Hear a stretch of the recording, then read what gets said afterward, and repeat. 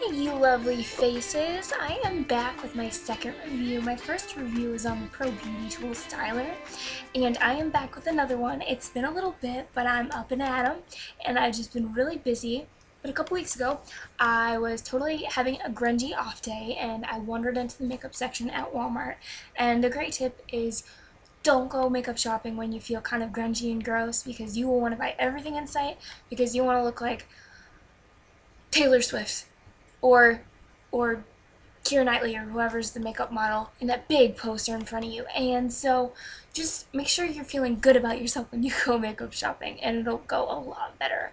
So anyway, I was having a totally grungy day. I was wearing cargo shorts. I had just been helping my mom clean out the backyard with sticks and leaves and bagging it all up and it was really gross. And um and then I went shopping afterwards. Long story.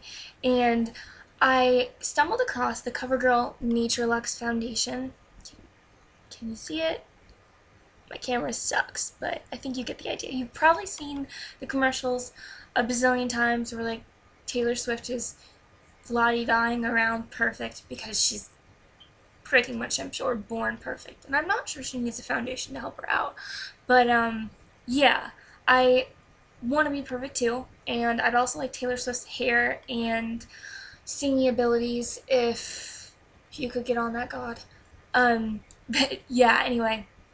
So I really wanted to try this foundation. It's been out for like at least a year or two.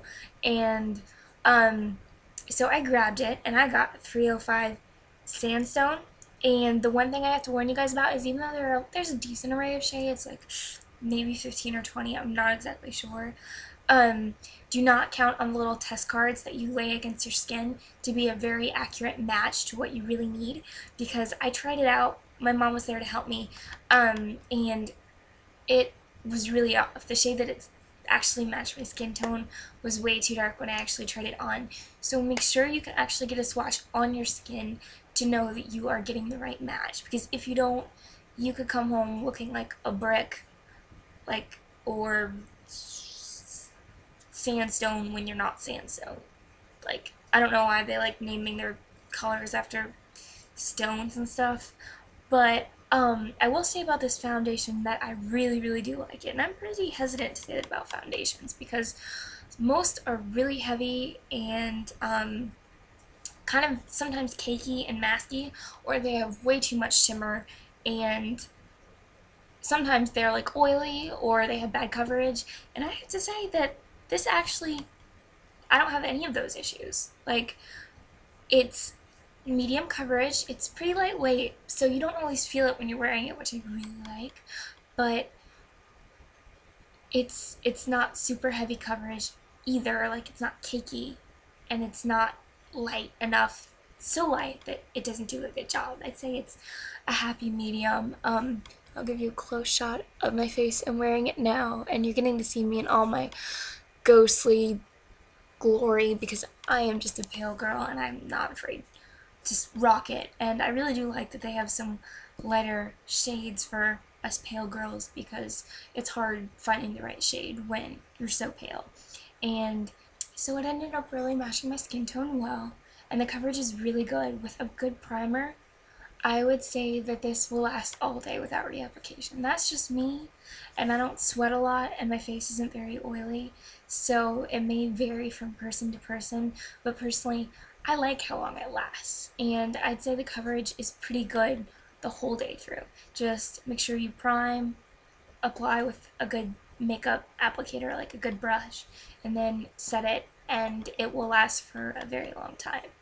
And so overall, I would probably give Nature Luxe um, foundation um, about, I'd say, a 9.5 stars out of 10. It's really good. It's worth checking out. It even has a SPF 10 and that's probably about the only reason I might not give it a tiny bit higher is because I wish it were just a little higher than 10, but it's really not even a huge drawback. If you apply sunscreen before you put this on, I'd say then it's a 10 because it's pretty near perfect. It's one of the best drugstore foundations I've yet to use.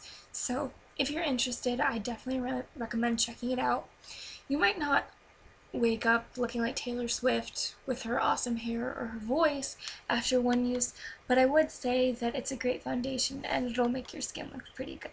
So, um, thanks for watching guys. You know feel free to subscribe comment check out my other videos. Yeah so